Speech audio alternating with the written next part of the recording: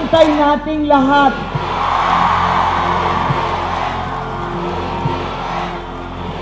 Ang susunod na Pangulo ng Pilipinas, walang iba kung hindi si BBM.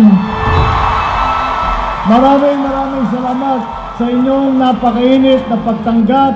Hindi po namin nakalain na ganito kainit, ganito karami, at ganito kaingay ang magiging sasalubong sa amin dito.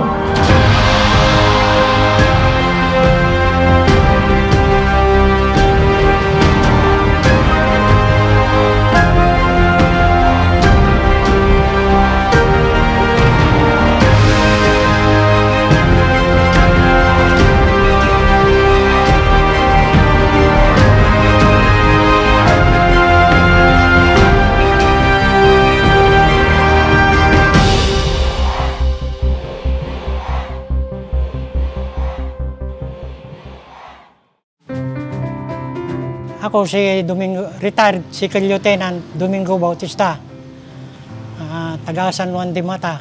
Pumasok ako ng, ng Philippine Constabulary ay 11 September 1969. Nag-retire ako December, ah, 31 December 1991 maganda ang patakaran ni Marcos noon sa mga sundalo. Kagaya nung pag na, napalabang ka sa gera, napalabang ka sa NPA, mayroon kang ano doon, mayroong allowance na may incentive na ibibigay, saka promotion. Trabaho namin noon, halos nagpapatrol kami gabi-gabi. Ano, kung araw, nandyan kami sa duty namin. Um, magandang patakaran ng nun, kapgo nun. Pinakamahusay talaga si Marcos. Ang ganda. Wala kang masabi. Lahat naman ng pati magsasaka, pinuutang niya ng masagana, wala nang bayaran. At saka mura ang bigas noon, mura ang pagkain, mura ang bilihin. Lalo na sa mga estudyante, o may mga nutriban, may mga claim, may mga trigo, libre yan.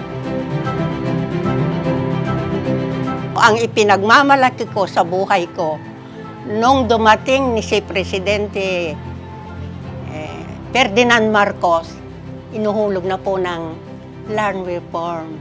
Nung nai, naibigay na po sa amin yung mga lupa namin, hindi na kami namamamunga.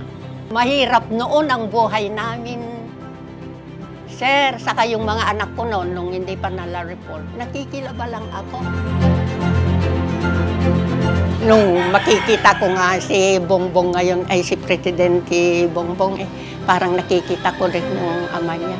Napapaiyak po akong talaga. Ako po ay nagagalak bilang isang mamayan ng Tarlac City na sa dami-dami po ng lugar na maaari ninyong puntahan is Siyempre, itong, itong Tarlac, itong lugar na kung saan po ako pinanganak, ay yun pa po yung napili po niya na puntahan. Napakapalad po ng Tarlac City na ah, bibisitahin po tayo ng ating Senator Amy Marcos. Isa rin pong ah, karangalan na dito niya po isi-celebrate ang kanyang birthday kasama po ng mga Tarlaceños. Ah, huwag po sana ito ang huling pagkakataon na bibisitahin po ninyo ang ang napakagandang lungsod ng Tarlac. At sana po ay marami po pagkakataon sapagkat ah, sa pamamagitan po ng pagbisita nyo dito ay marami pong nagagalak at syempre marami rin po kayo matutulungan dito. Mga takal te salamat ko yun eh, apo Ferdinand Marcos, Senyor, ta nakadaga kami na daga na. Thank you so much po na talaga na hindi namin mababarayan ng utang na loob yun. Masaya po kami na nandito po kayo na ma- makasama namin.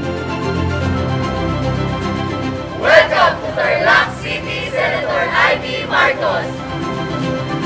Welcome, Senator Amy Marcos to Tarlac City. Welcome to Tarlac City, Senador Amy Marcos!